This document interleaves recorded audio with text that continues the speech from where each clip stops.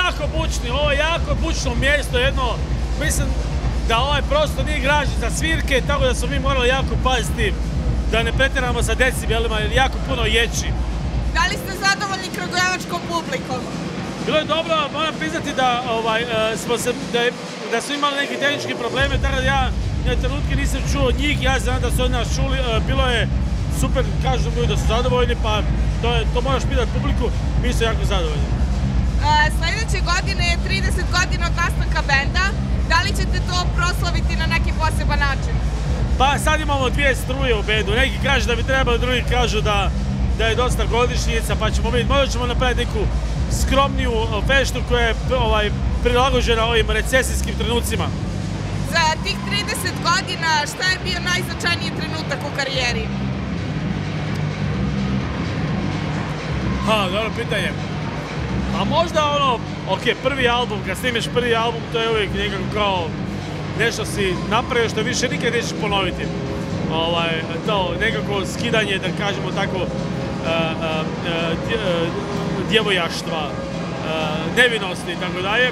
Onda možda kad smo prvi put napunili veliku malu dvoranu Doma spotova u, Zagrebu, to je bilo kad su nam došli prvi put roditelji na koncert, to je bilo 2001. ako se ne varam, a možda se i varam. To je bilo onak trenutak kad su shvatili da ćemo od ovoga još dugo, dugo moći živjeti, uživati i živjeti rock'n'roll. Vaš band je imao nekoliko faza. Kako biste prokomentarisali takve promjene?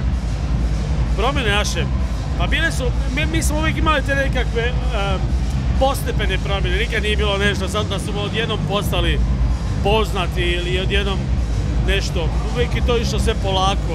Mislim e, da tajna našeg uspjeha u tome što nismo previše gurali, nismo previše forsirali. Tako da je to možda, eto, ne znam da li to više danas tako funkcionira kako smo mi. Da li se danas bendovi mogu držati istim pravilima koji su se mi držali. I za kraj dalji planovi. odbor. Imamo dosta dugo, ovaj, sad imali smo par koncerta za redalo, malo smo umorni. Sutra sviramo u Zagrebu, sutra rano ujutro krećemo nazad i nakon toga mislim da ćemo morat malo ovaj, stati uh, jer smo osjetili da se već lagano ovaj, ovaj nas je godina bila dosta intenzivna. Izdajemo sad novi spot za pjesmu Dan oslobođenja koji će se pojaviti već za desetak dana. I onda sljedeće godine imamo svirke u Francuskoj, Austriji i tako dalje. Hvala vam na razgovoru.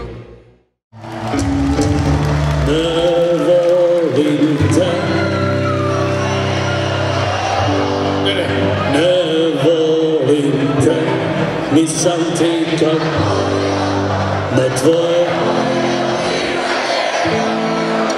Bio sam plav Tako je valjda sve to krenulo